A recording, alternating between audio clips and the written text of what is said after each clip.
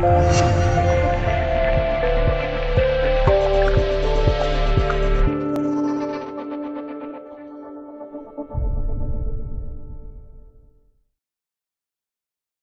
者：吃掉皮卡丘。校对在西溪五一长假，在人山人海的景点中观赏无数后脑勺、痛苦，成天有大把时光却无处挥霍。来追剧呀！这里有为你量身打造的五月追剧指南，新剧老剧任君挑选，满足多种口味哦。国产发生仗，此刻反击旧剧新番，小说改编，还有许久未见从大荧幕回归的实力者，让人期待。温暖的贤堂主张翰再次挑战大道总裁，能否带来了意想不到的惊喜呢？来来来，一起期待一下！由张翰扮演的战南贤与张峻宁饰演的温暖，原本是一对恋人，却因一场误会分手，而生活遭遇巨变的温暖就此人间蒸发，杳无音讯。为逼温暖现身，战南贤做了十足的准备。当温暖现身后。又设计温暖进入公司就职，可在二人旧情复燃之时，却迎来了战南贤结婚的消息。这一场多年后的相遇，是计谋还是另有原因？而他们之间能否冲破阻碍？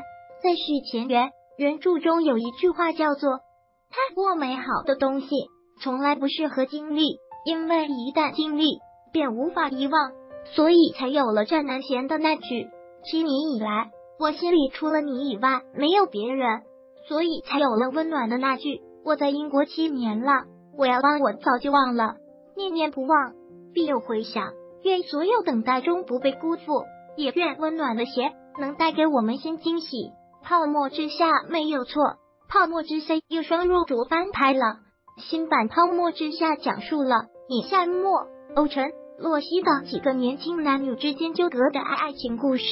梦想与现实彼此盘根错节，纯爱与励志相互交织缠绕，编织出一个有关爱与梦想的浪漫物语。两人的的颜值和演技都在线，而且本身也充满了青春活力，还是蛮期待新版的。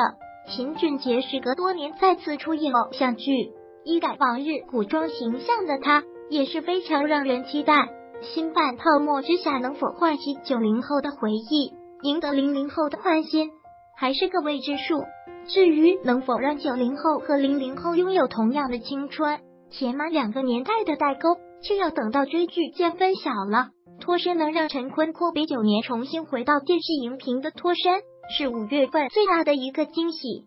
陈坤的回归本就是一大看点，配上万希顿创始人这样的阵容，不看剧情就让网友爆灯不断。故事发生在建国前夕。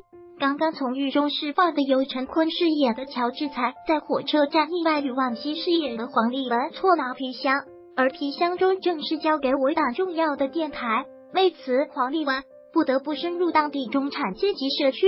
至此，二人结识并卷入了不可预料的危险中，最终突破重围。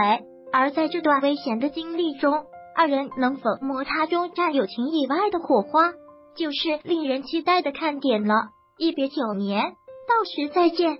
一别九年的回归之作，小月想陈坤也是经过深思熟虑才接的剧，质量有保障。旧剧再重温，重得青春。陈坤告别电视影评了九年，九年之间有家杂着一代人的青春。如果五一你正处在空窗期，重温一下老剧也是一个非常不错的选择。流星花园王彦霖在《快乐大本营》上的一段《流星花园》的配音。让大家将目光再次聚焦在 F 四身上。